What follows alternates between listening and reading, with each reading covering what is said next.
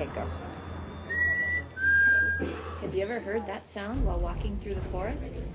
Well, come to the reference section of the library and check out this book, Bird Songs 250 North American Birds in Song.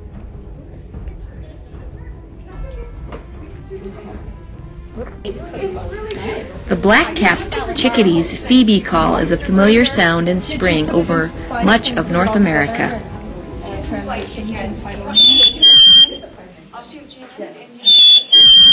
Another of my favorites found in this great book titled Bird Songs is the ivory-billed woodpecker, believed by most to be extinct. This woodpecker, the largest in the United States, was rediscovered in 2005 in eastern Arkansas.